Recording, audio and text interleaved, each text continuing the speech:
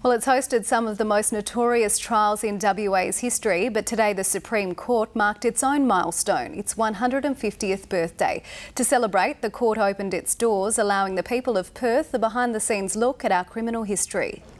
The court opened its doors to the outside world, and the outside world poured in with 250 visitors in the first 10 minutes. The most popular attractions, the holding cells. I've always been sentenced. Yeah, the, uh, the vicar gave me a life sentence when I got married in 1966. and Court 2, where many murder trials are held. You're guilty. Many of the state's worst criminals have been tried and sentenced within these four walls, some paying the ultimate price for their crimes. Cooke, the serial killer, who um, was in the mid 60s, uh, tried, convicted, went through the appellate processes and was ultimately hanged. And he was the last person to be hanged. Today, many relished the chance to satisfy their curiosity while staying on the right side of the law. That's what I say to the kids. I don't ever want to see you here again.